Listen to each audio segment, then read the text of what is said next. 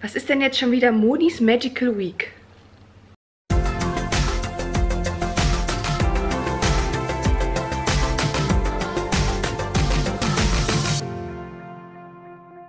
Hallo meine Lieben und schön, dass ihr wieder eingeschaltet habt zu Monis Magical Week. Jetzt fragt ihr euch, was hat die Moni sich denn jetzt schon wieder einfallen lassen? Ich dachte mir, ich nehme euch einfach in meinem Leben ein bisschen mit. Ich werde euch jetzt nicht alles zeigen, aber so ein bisschen immer mal wieder über die Woche hinweg. Ich habe auch jetzt keinen festen Plan, wann ich diese Vlogs hochlade. Ähm, auch nicht wie lang, also wie lang der Inhalt ist, ob jetzt nur ein Tag, fünf Tage, eine Woche. Ähm, wann die hochgeladen werden, ist auch kein fester Plan, einfach frei Schnauze. Das ist so der Plan und ich zeige euch einfach, was was ich hier so treibe in meinem, in meinem Leben sozusagen. Ähm, Wenn es nicht interessiert, einfach wegklicken. Ansonsten würde ich auch gerne wissen, ob euch das gefällt, was ich dann hier so zeige. Könnt auch unten ruhig in die Kommentare schreiben, was ihr sonst so gerne sehen würdet von mir. Keine Ahnung. Äh, Essen, ähm, wie ich mich schminke, was für Produkte ich benutze. Ja, also schreibt einfach unten, was ihr euch gerne wünscht. Ansonsten fangen wir jetzt einfach an mit diesem Vlog und ähm, mal sehen, wie es bei euch ankommt. Ja, das ist der Plan, äh, erstmal grob und ähm, ja, es wird einfach so eine Freischnauze in die Kamera reden. Für, vielleicht lasse ich auch einfach meine, manchmal meine Gefühle, meinen Frust an euch aus, wie es mir geht. Ähm, genau, ich habe auch zurzeit äh, einen kleinen Gast. Kann ich euch mal zeigen? Schaut mal, das ist Cookie. Das ist der kleine Cookie. Der lebt eine Weile, also es waren bis Mai, hatte ich, hatten wir zwei Hunde. Die Beauty ist dann leider äh, verstorben im Mai. Genau, jetzt ist Cookie ganz alleine und der macht zurzeit Urlaub bei mir sozusagen. Ähm, normalerweise haben die Hunde bei meinen Eltern oder leben bei meinen Eltern. Er lebt jetzt auch noch bei meinen Eltern. Ähm, aber mein Vater ist seit acht Wochen im Krankenhaus. Das ist jetzt, äh, will ich jetzt nicht weiter darauf eingehen. Aber um meine Mutter zu entlasten, habe ich gesagt, okay, dann ähm, nehme ich den Cookie für ein paar Tage, ein, äh, ein, zwei Wochen, weil ich eh im Homeoffice bin. Da muss ich es auch gleich weiterarbeiten. Es ist nämlich Freitag, wollte ich noch dazu sagen. Genau, es ist Freitag. Ähm, muss jetzt gleich anfangen zu arbeiten. Heute Nachmittag fahre ich dann mit meiner Mama in die Stadt. Da wollte ich euch auch ein bisschen mitnehmen und zeigen, wo wir so hingehen, was, wir so, was ich so sonst einkaufe, äh, außer Disney. Genau, ähm, das ist der Plan für heute, deswegen bin ich auch schon gerichtet. Normalerweise im Homeoffice bin ich ja, laufe ich ja rum wie ein Schlumpf. Gut, ich habe jetzt heute auch nicht die geilsten Klamotten an, wie man sieht.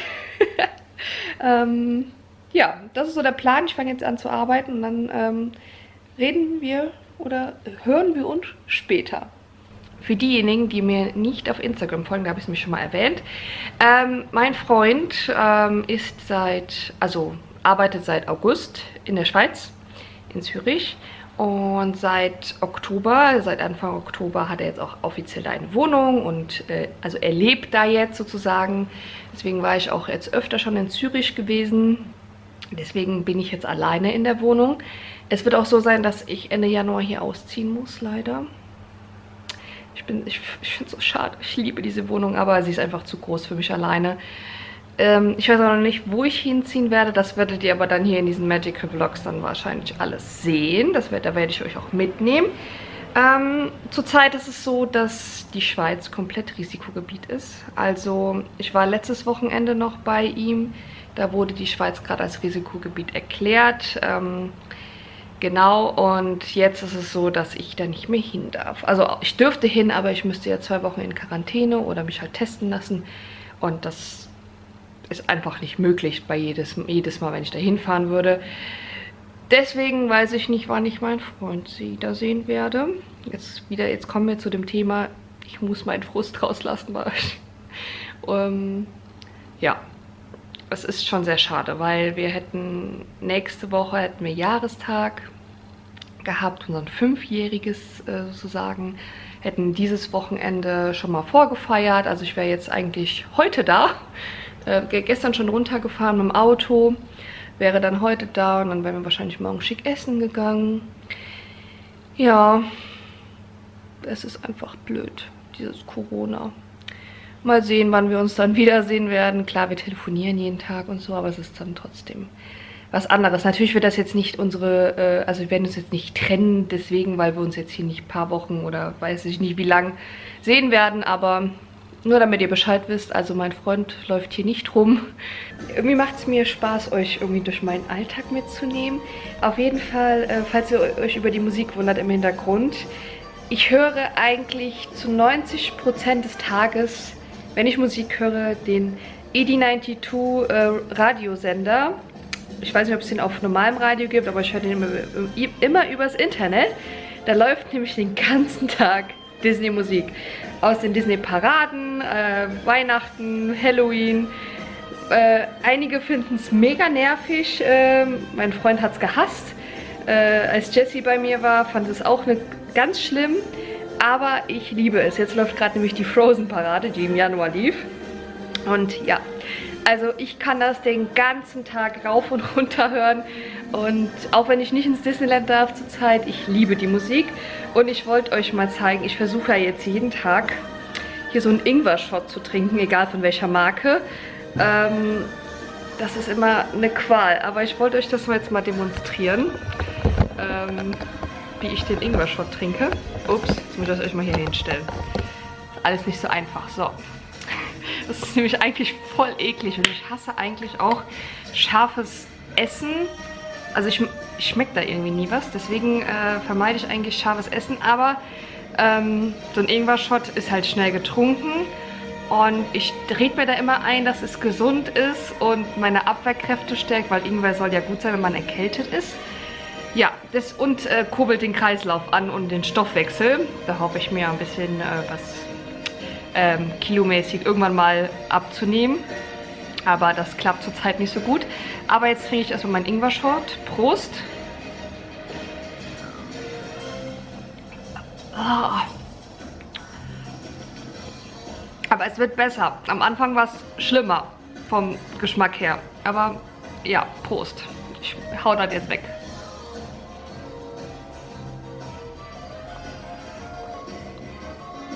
Oh, oh, oh. Ja, so sehe ich immer aus, wenn ich einen Ingwer-Shot trinke. Mm. Oh. oh, mein Hals brennt.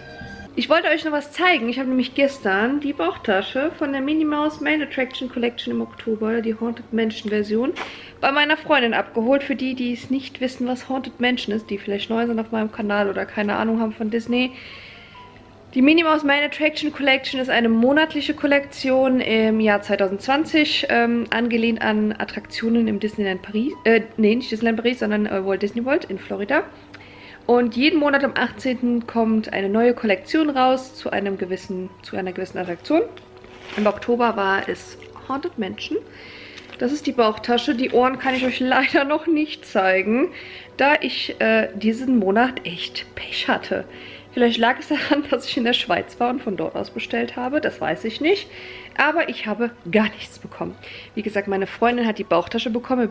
Ähm, wir bestellen immer parallel, dass ich äh, also, dass ich auch wirklich was bekomme. Aber wie gesagt, diesen Monat ähm, ging es nach hinten los. Aber äh, Brinas Freundin, ähm, von Brinas Freundin bekomme ich jetzt die Ohren zugeschickt. Irgendwann, also hoffentlich im Hall, habe ich dann die Ohren an. Das ist mir immer wichtig in meinen Disney-Halls, die Ohren von dem jeweiligen Monat zu tragen. Genau, aber die Bauchtasche habe ich schon mal und ich finde sie sehr hübsch, vor allem innen drin. Habt ihr auch das Haunted Mansion Muster. Genau. Ja, und ich liebe ja Bauchtaschen. So, ich bin jetzt endlich auf der Couch. Es ist halb zehn. Ähm, ja, ich kam, glaube ich, um halb neun nach Hause. Ja, also war ein bisschen längerer Trip. Ich zeige euch morgen, was ich alles gekauft habe. Oder ein Teil davon. Weil einiges waren auch schon Weihnachtsgeschenke. Ja, darüber mache ich mir jetzt auch schon Gedanken. Genau, ich werde jetzt hier noch ein bisschen auf der Couch chillen. Ähm, ich werde mir den Kurzfilm noch von Olaf anschauen bei Disney+. Plus. Da gibt es ja den neuen, den werde ich mir jetzt noch reinziehen. Der geht aber nur 12 Minuten. Und genau, jetzt chill ich noch ein bisschen. Und ich zeige euch morgen die Einkäufe und ja, was ich noch so mache. Das war jetzt Instagram. also bis morgen. Ja, hallo meine Lieben, ein neuer Tag hat begonnen. Es ist Samstag und so sehe ich immer samstags aus. Nein, das war ein Scherz. Äh, falls euch das Summen im Hintergrund stört, das ist mein Bodenstaubsauger, der hier durch die Gegend fährt. Und jetzt klingelt es auch noch. Ich mache mal die Ohren runter, sonst äh, denkt der, er ist im Irrenhaus gelandet. Ja, das war der Amazon-Postbote. Ähm, ich wollte noch kurz was berichtigen. Mir ist nämlich gestern so durch den Kopf gegangen, dass ich meine Vlog-Reihe nicht Monis Magical Week nenne, sondern Moni, Monis Magical Vlog. Weil, äh, aus dem Grund, weil ich nicht immer eine ganze Woche vloggen werde. Ich werde ja mal zwischendurch vloggen, mal einen Tag, mal mehrere Tage.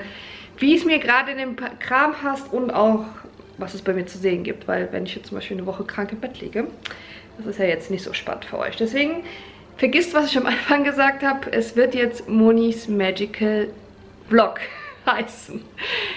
Ja, und jetzt zeige ich euch, was, was äh, wir gestern alles gekauft haben.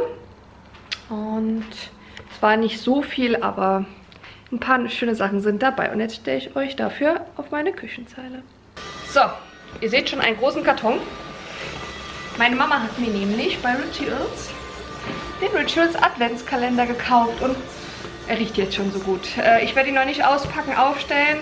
Das äh, mache ich dann kurz vor dem 1. Dezember.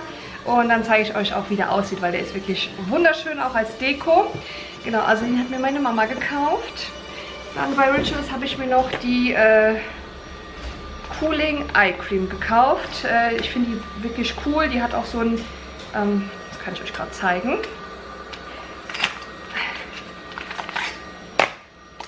Genau, also die hat hier so einen äh, richtig coolen äh, Aufsatz, dass, dass man auch das schön verteilen kann.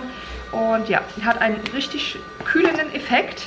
Ich war heute auch übrigens schon richtig fleißig. Ich habe schon meine Gimondo Sporteinheit gemacht. Ich habe Hula Hoop gemacht. Ich habe gefrühstückt. Äh, ich habe schon das Foto für Brinas und Daniels Challenge gemacht. Die war äh, an, einem, an dem Sonntag. Da habe ich das Foto gemacht mit Phantom Männer. Äh, müsst ihr bei meinem Instagram-Kanal vorbeischauen. Genau, also ich war schon richtig fleißig. Falls euch irgendwas mehr im Detail interessieren sollte von dem, was ich gerade jetzt vorgestellt habe, könnt ihr einfach unten kommentieren. Dann zeige ich euch das äh, in den nächsten äh, Vlogs. Dann gab es bei Kiko die Wonder Woman äh, Kollektion. Und ich habe mir einen Lippenstift gekauft. Ich bin ja totaler Lippenstift-Fan und liebe dunkle Lippenstifte. Und das hier ist jetzt Metal Power Lasting Lip Paint mit der Farbe 6. Ich zeige euch den mal, wie der aussieht. Ich hoffe, das kann man dann erkennen. Ich liebe ihn. Seht ihr das? Ich drücke mal auf meine Hand. Genau. Ja, also das ist der Lippenstift.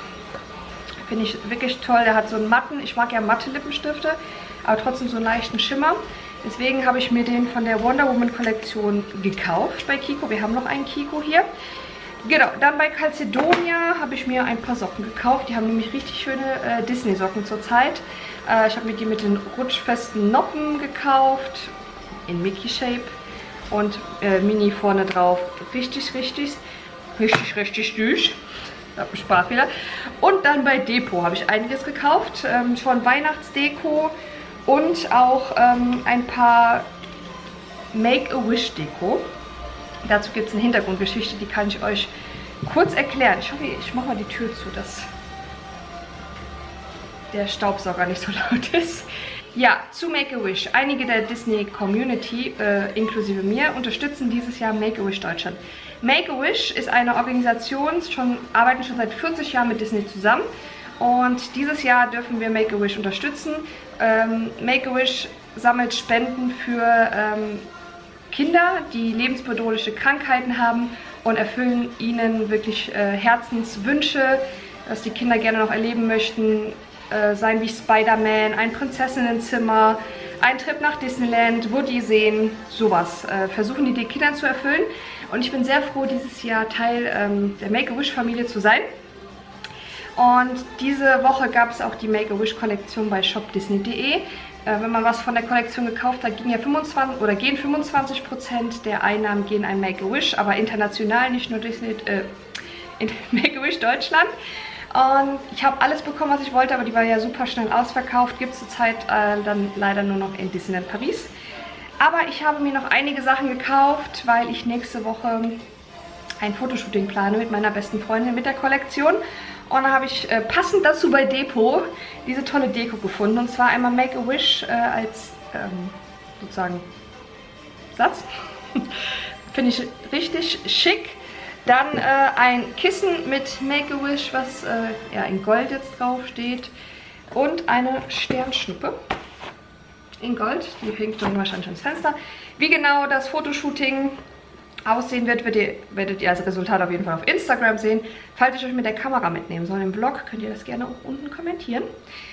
Ja, das war äh, zu Make-A-Wish. Äh, Make-A-Wish Deutschland freut sich über jede Spende. Also wenn ihr bereit seid, äh, was zu spenden, die freuen sich sehr. Ich verlinke auch unten nochmal die äh, Website von Make-A-Wish Deutschland. Ansonsten äh, habe ich noch ein bisschen Christmas Deko, noch generell Christmas Deko gekauft. Und zwar, jetzt muss ich mal die Kamera in die Hand nehmen. Genau, ich habe hier einen Teller gekauft. Da sind noch zwei Sterne drauf. Die kommen woanders hin. Also ich habe mir hier einen Teller gekauft in Gold, weil mein Wohnzimmer jetzt äh, also sehr in Gold gehalten ist. Ups. Genau, also ich habe mir den Teller gekauft mit den äh, mit diesen Kerzenständern. Drei Stück und drei Kerzen in Weißgold. Und mein Plan ist es, natürlich mal zeigen.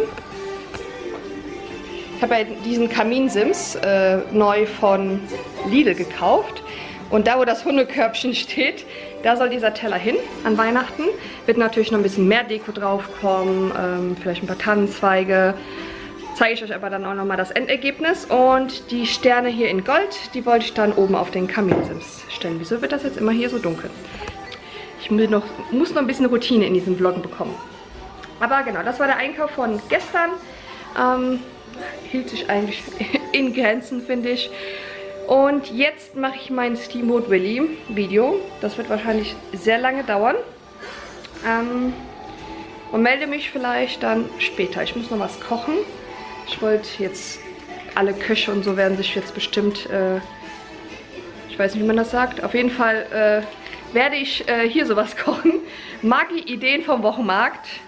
Ähm, weil ich immer so einfallslos bin mit Rezepten, probiere ich jetzt das heute aus. Das ist äh, Penne Mediterran mit Mozzarella und bin sehr gespannt, ob mir das schmeckt. Ich bin halt sehr einfacher Mensch, was Kochen angeht. Ich bin jetzt nicht, also ich kann schon kochen, wenn ich das will, aber bin dazu eher zu faul. Naja, das ist der Plan. Ich mache mich jetzt an Steamboat Willy äh, Video und dann hören wir uns vielleicht später. Kurzes Update zu meinem Steamboat Willy Video. Ich habe keinen Bock mehr.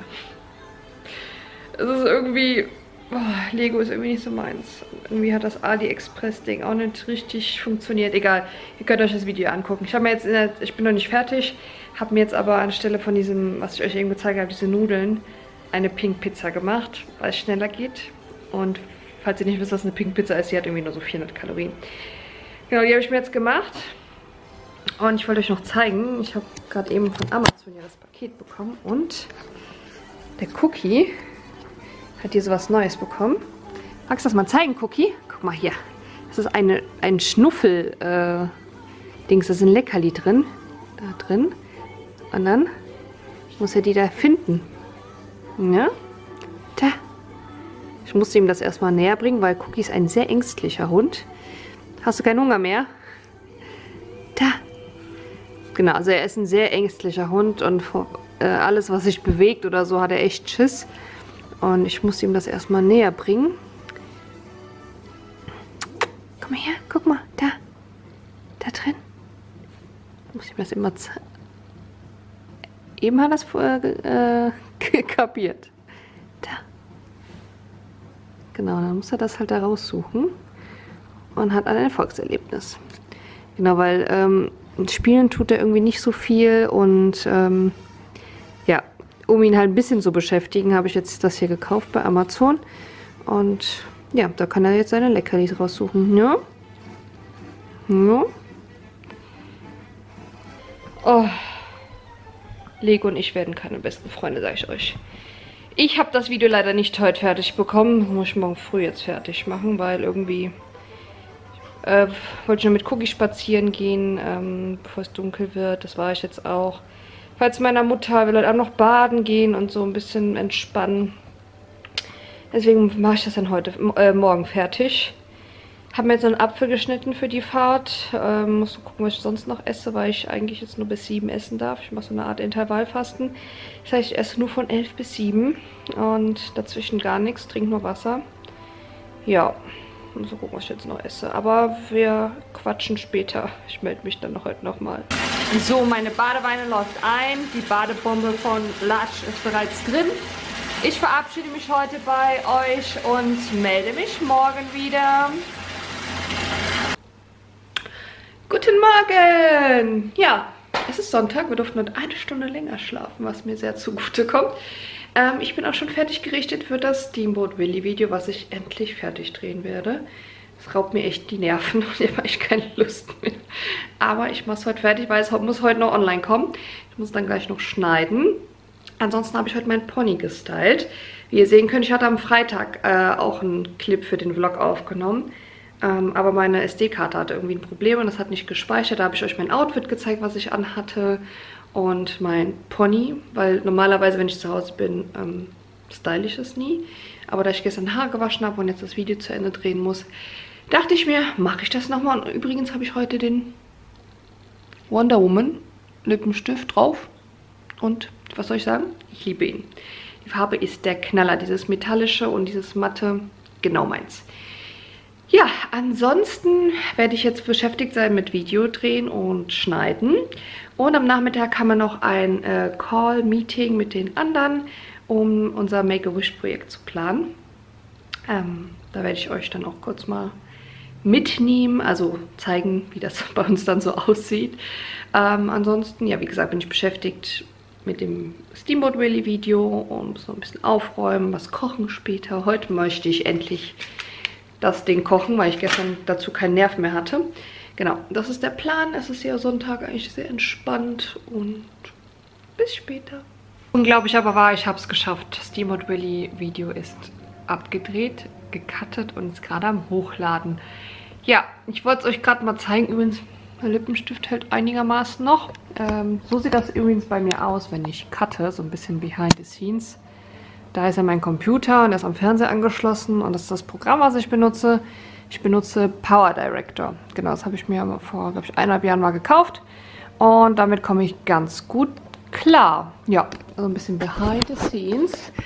Ansonsten, was wollte ich noch erzählen? Genau, ich wollte mir später noch Nagelfolie aufkleben. Habe jetzt gerade bei Instagram eine Umfrage gemacht, welche der drei Nagelfolien ich denn aufkleben soll, weil ich mich nicht entscheiden kann. Die habe ich neu bekommen wollte ich euch dann auch später noch zeigen, wie ich das mache und ähm, für welche, welche Nagelfolie es geworden ist. Und dann haben wir noch in der Stunde den ähm, Call mit meinen Disney Buddies. das haben wir noch, genau. Ansonsten würde ich gerne eigentlich mit dabei liegen. so süß. Schaut mal.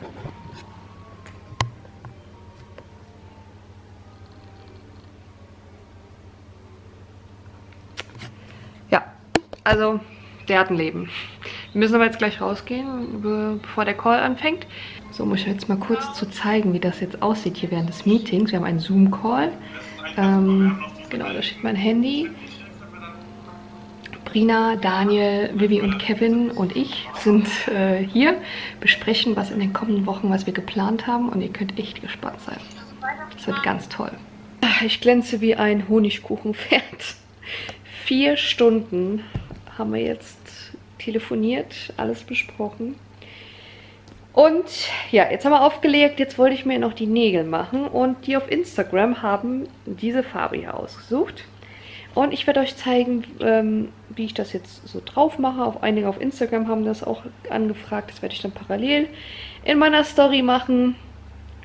Und danach werde ich, denke ich, den Vlog dann beenden. Und dann habt ihr sozusagen mein Wochenende mitverfolgt. Von Freitag bis Sonntag habt ihr so ein bisschen Einblick bekommen.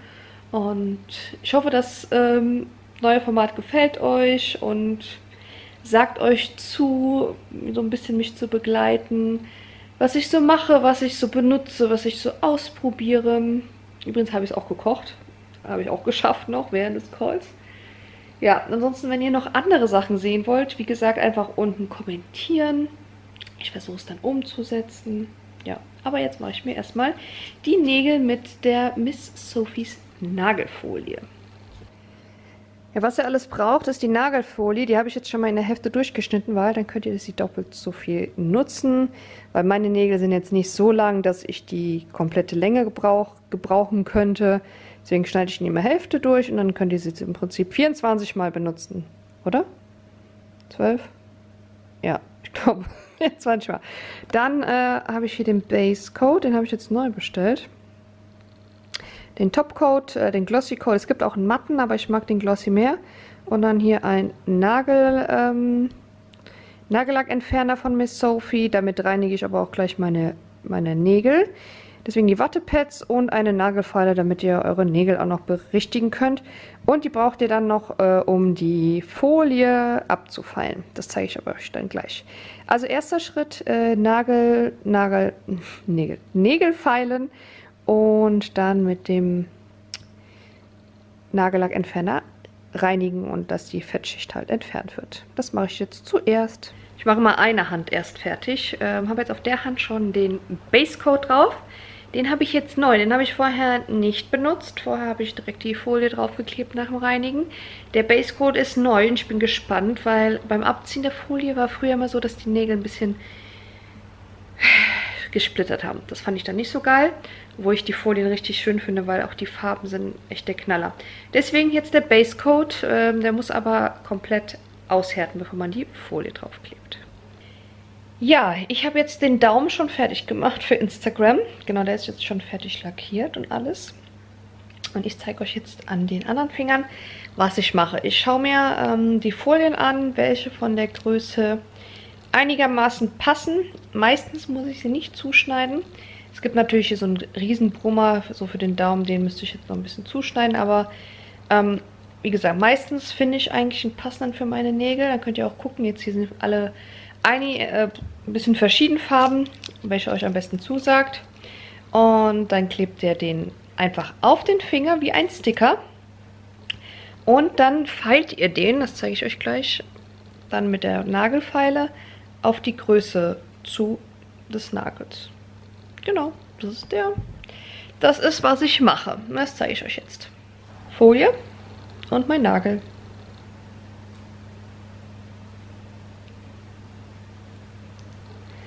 Dann klebt ihr das einfach da drauf.